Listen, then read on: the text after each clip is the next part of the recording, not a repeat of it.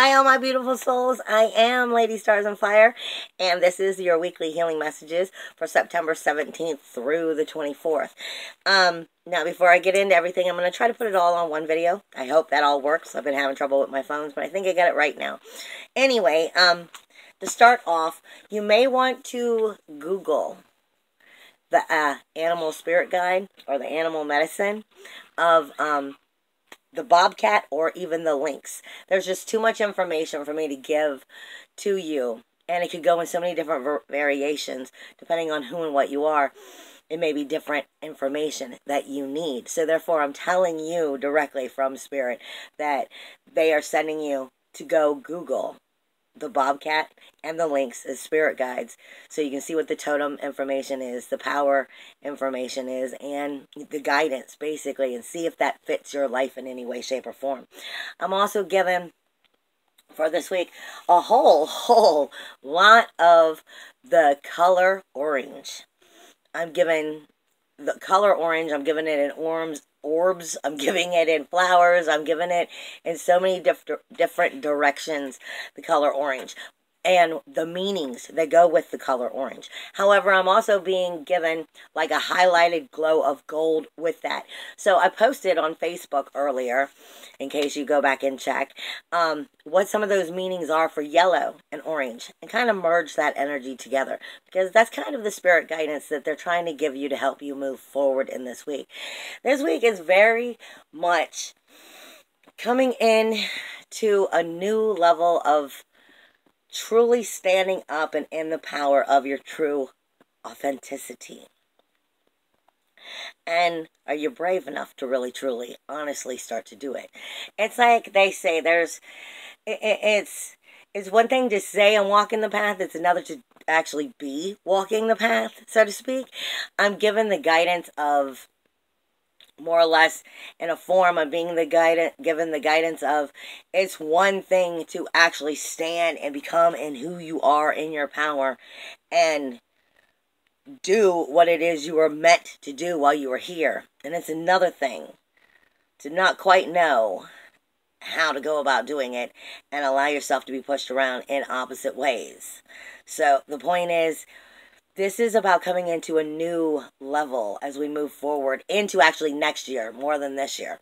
But as we start preparate preparations for next year it's it's helping us come into a higher more higher vibrational level of standing in our power and our true authenticity but understanding exactly who and what that truly deeply is we're moving in that direction is what i'm being told i was given for the runes this week i was given Nauthiz which kind of looks like a T but it's sideways um for the runes and spans speaks to us of the need of the fire to distress the fire. It speaks to us of determination, endurance, and the sacrifice it takes for that. It is the presence of a situation of something that must be worked through. It does deal with karmic obstacles, obviously, with what's been going on with the astrology, and I'll be back for that in a minute. But it is speaking to us of understanding that great change that we come through that we finally realize that power already was in was within us. We already had that power, but we didn't know. And this is part of what I'm saying the spirit is giving us. Now, it does deal with resistance and friction. It does deal with strengthening your will and the fire from within. But it also deals with needing to banish and warm the cold. Basically, turning stress into strength action according to the need of positive self reliance. It is the rune of overcoming skill, karma, survival, and self preservation.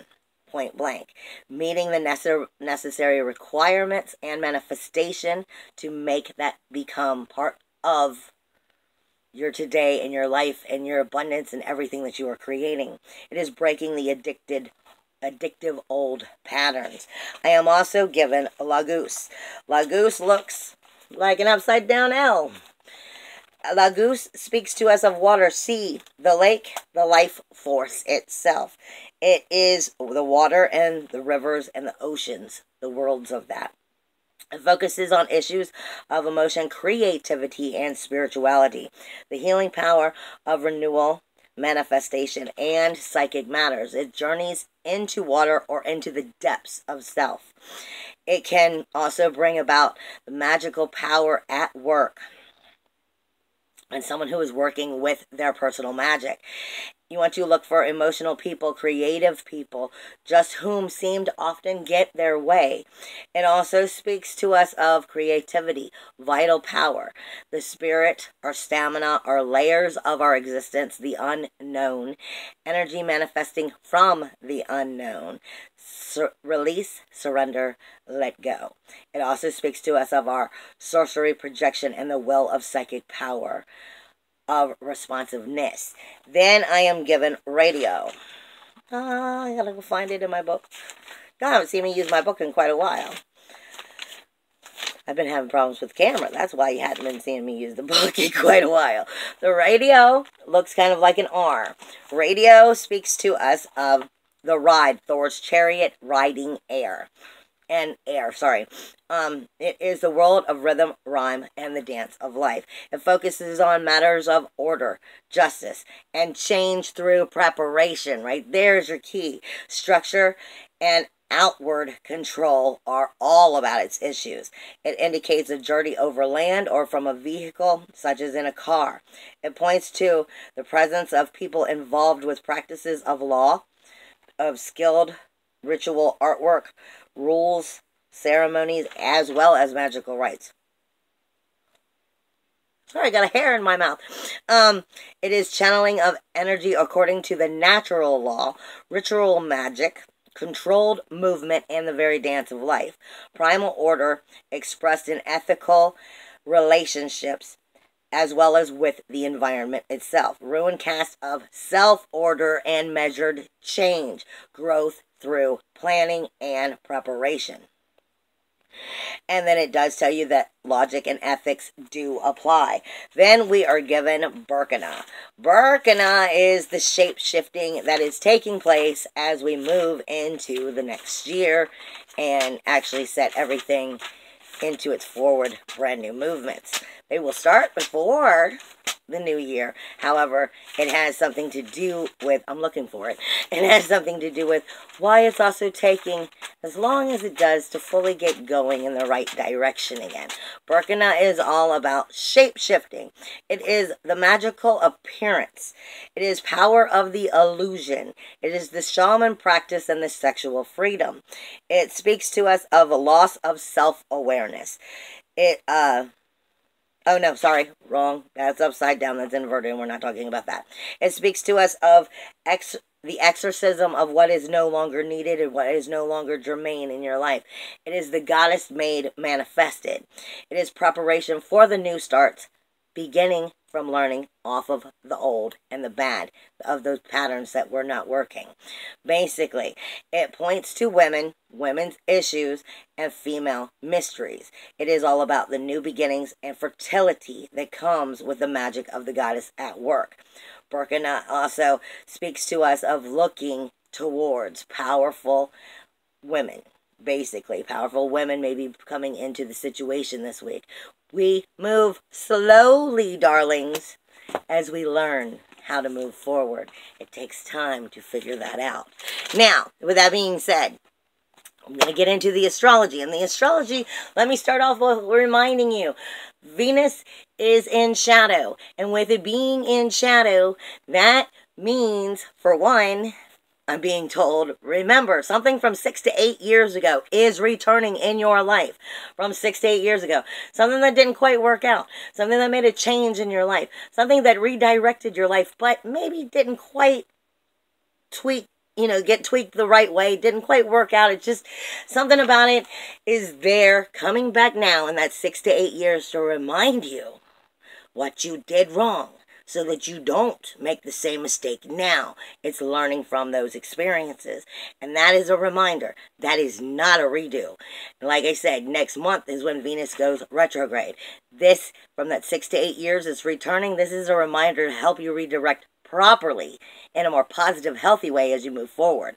Now, September 17th through the 24th. First off, Mercury is going to be moving into Aquarius on Friday at the end of the week on the 21st. Sorry, the 20th Vesta is going to be moving into Capricorn with Saturn and with Pluto. Okay? It's powerful information. And that's going to be happening Thursday. Then Aqu- then Mercury moves into Aquarius. And then we have the fall equinox. Have a blessed fall equinox, and everybody. Also, please pay attention and go back to my website or my page because I do the global healing. And it's funny how it always happens to have some kind of major event is happening on the 22nd for global healing to be happening that day. And that was not made by me, that was made by Spirit. So please be part of the global healing event and go back to my website ladystarsandfire.com and you will find that information there with that being said the the fall equinox takes place on the 22nd the global healing takes place on the 22nd and the sun moves into Libra on the 22nd, which is um, Saturday. All of this information takes place. The full moon is where we are moving all of this energy towards, which actually will not take place until next week, but it will be taking place on the 24th with the void, void of course, from Pisces and Aries. So finishing a, finishing a cycle and starting a new one as we go through that full moon energy. Pluto is also going to be going direct on the 30th. I remind you this because I'm going ahead a little bit. Pluto is going direct. Pluto is death, decay, and destruction, or rebirth, renewal, and regeneration, which means in retrograde, he's in serious overdrive. If there's anything that's not getting through your thick head, especially about Mars when it was in retrograde, or about Saturn when it was in retrograde, now that they're going direct and starting to try to pick up speed and move forward. Pluto is going to smack the shit out of you right upside of your head this week before it goes retrograde. I mean, before it goes direct. Because Pluto will calm down after he goes direct. Because Pluto is always inward. But when he's in retrograde, he's like kicking in the door, like, I can't have this shit anymore. This will change. And this is that week, if you haven't gotten it through your thick head, that you're going to get the smack upside the head. I promise you. Now, also, you have coming up on the 25th, which actually is in the next week, Chiron moves back into Pisces. Chiron is the wounded healer, the gatekeeper of wholeness. This is part of why I say things are not fully going to get totally moving in the positive right direction and full speed, and the whole new cycles will start until Chiron leaves Pisces and comes back into Aries because it's going back to that 12th house to reevaluate some of this stuff that's been going on with all of those retrogrades and those solar eclipses and lunar eclipses that you just went through back in July. So he's going to be reevaluating that now that the gatekeeper of wholeness is stepping back into that 12th house and seeing what it is you're in denial about, what it is that you don't want to heal over, and what you're still lying to yourself about, so that he can make you see it, then bring it forward, and then jump back into Aries in the direct motion and truly start that cycle. So this is going to take some time to get going. Even though things are moving forward, they are moving forward. But at the same time, they're in an evaluation period and it will take time. And it won't fully feel like everything's starting to go forward in full until, you know, we get closer to December and October. I mean, December and January. I'm sorry, that's just the way it is. Now, this week you've got the moon in Capricorn since I started late with the video, I didn't come out until uh, Monday and Tuesday. So we're seeing that the moon, the moon, I'll learn to talk one day. The moon is in Capricorn this week. Then, as we kind of go into the weekend, we're in Aquarius, and as we come into Sunday and Monday, we're in Sagittarius. So this means we are really wanting to look at our foundations and and how and what it is we need to create those new foundations and make them sturdy and strong. But we can be a little methodical about it right now. We can be overcritical about it right now. And then as we move into Aquarius, we kind of go from overcritical to balls to the walls. I can do whatever I want. And I'm the I'm the rebel here and I'll make my own decisions. And then when we get back into Sagittarius, the moon gets more spiritually spiritually based and higher learning and wanting to truly understand and be closer to that higher self. So this is the energy that those emotions are going to be going through. Now, we do have a grand cross until the 26th. And this grand cross is you know, all of this week is is going to be bringing in some intense, tense energies. And the best way for me to explain it is you're talking about uh, Mars and Lilith in Aquarius, which is your universal 11th house of your outer community in general in some form or another. I, I tend to mix the 10th and the 11th house a little bit because it is the outer community and I do it in a universal level. However, it is the outer community. It could be dealing with your friends, your your friends, your groups, your uh, memberships. It could be dealing with you know those outwardly goals that you are creating and people that you might be working with in, in that environment as well. So Mars is your warrior. It's your inner SWAT team, babe. It is standing there with Lilith. And Lilith is, nobody's going to make me do a fucking thing that I don't want to do. End of discussion. So your inner warrior has extra firepower right now for passion, action, aggression, and fire in general. Okay? And that also brings out that sexual energy because Lilith is backing it. Lilith is like, I'm going to do, I, I am in my power and I've got Mars right here backing me up basically. But Mars is not exactly getting along with Venus. Venus and Mars are your universal lovers. They're not seeing eye to eye. They can't agree. They can't view things together at this moment. Venus is in Scorpio. Venus is where birth, death, rebirth, and that fertility all takes place of that change. Okay? It's also the mystery of the change, but it's also the universal eighth house. So it deals with the relationships and what it is those relationships are responsible for. Not just your friends, your family, and your loved ones. But what is your relationship for? Responsible for? I mean, when you go to work, what is work responsible for? It's there to give you money. It's there to do its jo- to do your job. The bosses are there to do their job. There is always a responsibility within the relationship. What are those responsibilities that you're looking at? Basically when we're paying attention to these situations. So you've got Venus, which is in shadow, not necessarily getting along with Mars and Lilith, and that is your sensitivity not necessarily in a bad way, but it's very sensitive, physical to the touch, as well as emotional depths right now. You're really viewing things somewhat from a darker point of view because you're trying to get to the depths of it. Not that you mean to be in shadow or you mean to be dark. You just want to get to the depths of it so that you can really help the universal lovers within yourself come back to peace. But here's the thing those two are also not getting along with Uranus. Your independence, your individuality, your uniqueness, your freedom. And then in Taurus is your self worth, your self value, your self esteem, along with what it is that makes you feel the luxury within yourself, the the enjoyment within yourself, the sexual energy within yourself, and who and what you are to feel passionate about your sacral chakra. Okay? Like I said, we are being cleansed we are coming through a, a, a, form of unblocking some of these chakras because we're being calibrated. And that has a lot to do with this uh, Grand Cross. And on top of it, that Grand Cross is speaking to the North Node. the North Node in Leo, which is talking about what it is you have to learn in order to move forward.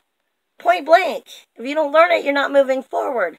So it's difficult and intense, but it is soulfully needed. Okay, now while we have that energy, we also have Chiron going straight through this Grand Cross in opposition with the Sun and Mercury. Okay, your wounded healer, the gatekeeper of wholeness, is not getting along with your personal sunshine and illumination your core energies, as well as your Mercury, your communication. You're not comfortable about this communication that's going to have to take place in order for this movement to go forward. But it's something that has to be done. Okay? And while these two are in this conversation, they're also creating a T square with Saturn, with your rules, your walls, your boundaries, and Vesta, which is moving even closer to Saturn. So that adds your soul fire into that on top of it. So you have your wounded healer not fully agreeing with your soul illumination, shine, and core and communication, and then testing what are the rules, walls, and boundaries. Are they set right? Why aren't they set right? What do we have to do to fix this? Basically, it's not comfortable but it's needed. Now, it's also having its own special conversation, the Sun and Mercury, but it is trining Mars.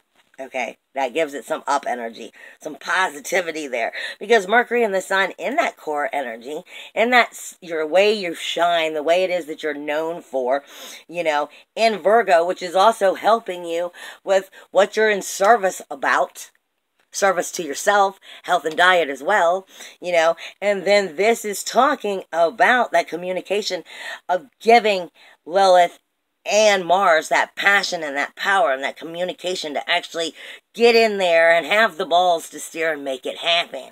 Basically, so this is a positive energy. The North Node is trining Chiron this week too. So the North Node, which is what you have to learn in order to move forward, in that universal fifth house, which is going to be dealing with creativity, is going to be dealing with, you know, nobleness, but is also going to be dealing with, you know, your heart and your compassion. It's like I always say, the king of the jungle, the lion, for Leo, it's not just about being the king, it's about being responsible or having the responsibility to the kingdom as well. So you're taking that north node and that energy right now, speaking to Chiron, which is the wounded healer, which is in the Pisces, which is in Pisces. But I'm telling you, it's sitting on the cusp of Aries because so it's picking up both Aries and Pisces energy, both denial and sacrifice and you know, the healing that needs to be made before it can move into that first house, even though it's actually moving the opposite direction because it's also speaking to Aries right now. I mean, it's that's where it's going is into Pisces. It's still in that fiery, passionate, hot, hot energy of uh, I can start anything, but then I get bored and I kind of get over it. Basically, the wounded healer is going back to go, where did this go wrong? And it's going to be really focusing on that as soon as it jumps into Pisces. Now, you also have ne- Neptune and Pisces, which are in a trine with Je- Jupiter, but it will be picking up that Venus energy, like I said, that is in shadow right now. And Jupiter magnifies everything. That's what Jupiter is. It's a magnet. It's higher knowledge, it's abundance, and it's the magnet. Point blank. It brings everything to it. And if you're not positive, in this energy that's coming out of Venus, you are bringing nothing but more stuff to not be positive about. Keep your manifestation right. It is time to be stepping into a more positive, higher place of thinking. A more the way Spirit's been putting it to me lately is stop having generic love. You need to look from stopping on a lower way of thinking. It's not about generic love anymore. This is about unconditional loving and what the higher vibration truly needs. Okay? So Jupiter is bringing this information to Neptune and having a positive trine here, which is being able to give you the creativity, the magic to be able to bring that power full forward and into your life, into tangible life, as long as you're not letting that Venus shadow pull you down and turn that Jupiter against you. Okay, you also have, as you come into the week, the weekend though, as we end the week, we come into the weekend and we go into Sunday and Monday starting next week. Neptune and Pisces, Jupiter are having that trine, but then, then Chiron will be in that energy as well, and so will the moon. Here's another thing that is very important that most people are not going to be talking about. Libra. Libra is a force to be reckoned with right now. And most people are not going to be talking about Libra in any way, shape, or form. Everything right now is dealing with your relationships in one form or another. And that is because of the changes coming for the new beginnings, for the new year, and as we move forward into our moving forward. Remember, I said this is the number two year. I said this whole year this was a number two year, which meant it was about growth, which meant it was about learning to stand and take a take a harmonious stand and growth in all areas in your life. And that meant dealing with shadow and ego. And that is what this is. This is flushing that out after those eclipses and after um after the eclipses and all these retrogrades. And right now, you want to remember Neptune is also in retrograde. Pisces, I mean Neptune is Neptune is in retrograde. Neptune is where fantasy smacks you in the face with harsh reality. It is not a great time to escape reality right now. You got Venus in shadow, which is having that conversation with it, trying to darken that energy. Okay? And right now would not be the time to be tempted by escaping reality because it will go against you. Trust me. This is the time to make Neptune work for you, not against you. It's not that partying time. And you have Uranus in retrograde, which was questioning your self worth, your self value if you let that Neptune go in the wrong way. Now, I'm sorry, back to Libra. Libra is a force to be reckoned with because, first off, it's talking about your relationships, baby. All of your relationships. You have a relationship with everything that you care about, including yourself. You have a relationship with your friends, your lovers, your children. You have a, relationship with your your your job you have a relationship with your money you have a relationship with your car when you have no money and you have no car you know about your relationship with them point blank so anything you care about you have a relationship with and this is all about health as wealth End of discussion. In Libra, it's dealing with relationships. Ceres is there. Ceres is the threefold theory, honey. Ceres is too close to home, and Sirius speaks to us about are we nurturing correctly? Have we been nurtured correctly? And are we, in turn, in that cycle, putting it back out the way that we either were nurtured, correctly or incorrectly? And are we fixing it if it was incorrectly done? Basically. That's what this all comes down to. So it's not just self worth within these relationships right now. It's also speaking to you about if the relationships have been abusive because of neglect in any form. So, and with that being said, on both sides of uh, Libra, you have Makemake and you have uh, Haumea, which is the lotus flower. Where are you on the on the chain of the lo- lotus flower? You still in the muddy, murky, mur- murky water? Are you starting to bloom? Or have you bloomed? Where are you? And then you're talking to Ceres in this communication of what it is. How do you make harmony and balance in an area that's just not necessarily having it? And then it's bringing in the collective consciousness that needs to go with it. It's a very powerful energy right now coming out of Libra. And it's important that you remember at the end of the week, Sun the sun and Mercury is moving in there to make sure to amplify that as we go into the next month and the last week. Okay, so there's going to be one, two, three, four, five planets there. Okay, even though most people are never going to see any of that, they're going to look right past it and never notice those other two there are amplifying that shit. Okay, with that being said, and lastly, we also have Chiron is sextiling Mars. The wounded healer is trying to give Mars and Lilith the passion, the action, and the aggression, even the sexual energy that you need to move forward in some form or, or another the Chiron is trying to help support that energy, okay, and move you you forward from that universal first house as it's moving into the twelfth house to find that healing, as well as within the outer community and those relationships as well. Then you also have Neptune, which is sextiling Pluto, so it's questioning the magic that you're creating. Are you creating it right, and why the hell are you creating it? View that information, and then it is sextiling Jupiter. It is a positive energy, but if you're doing it wrong, you can screw yourself up. So you have the magnet, the abundance, the higher knowledge, and the soulfulness, speaking with Pluto about how to let go of the past, move it forward, and Neptune to give you the magic of being able to do it. But then it's also, it's like a chain reaction. It's also speaking with Venus's shadow about making sure you get the right information from learning from the past. Like I said, six to eight years ago, something in there. And then you have Saturn and Vesta speaking about how do we correct those walls, rules, and boundaries. I love you. So much is happening, and it might take some time to work through it all. It's intense, powerful, tense energy, but there's hidden, powerful, great, positive info in there. But you gotta listen to your soul. You gotta listen to your intuition. I love you, babies. Also, please, please, please, please, please watch other i mean listen to otherland dreams with me and the hill hippie every tuesday night on um FXBG Public Radio, and I will be starting to give the astrology a little bit more in depth, a little bit more like today's one, but a little bit more in depth on the on that uh, radio show as well. So you'll be able to catch whatever I don't have time to get out in the astrology typically on Otherland Dreams, along with whatever the topic is for the day. On Tuesday nights from 10 to 11, please subscribe. And like I said, it's at FXBG Public Radio. Bye, everybody. I love you.